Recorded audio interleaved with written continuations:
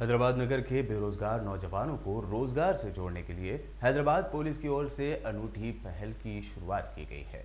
इसी क्रम में फरवरी की 9 तारीख को मुशीराबाद पुलिस स्टेशन में जॉब मेला आयोजित किया जा रहा है। इसी सिलसिले में शनिवार को बेगम बाज़ार इलाके में जॉब कनेक्ट मोबाइल गाड़ी के माध्यम से नौजवानों में जॉब मेले के फॉर्म्स वितरण किए गए। इस अवसर पर Begum Bazaar police station SHO P Subbaiah ने मीडिया से बात करते हुए आयोजित किए जा रहे जॉब मेले की जानकारी दी।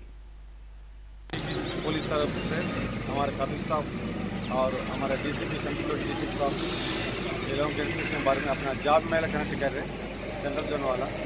पूरा ये अनएम्प्लॉयमेंट का से अपना अपील दे दे कि इनके इनका कोई एजुकेशन बारे में इनका एजुकेशन है वो हिसाब से इसको वास्ते हम हुशियाबाद पुलिस स्टेशन में एक जॉब मेला कंडक्ट करें।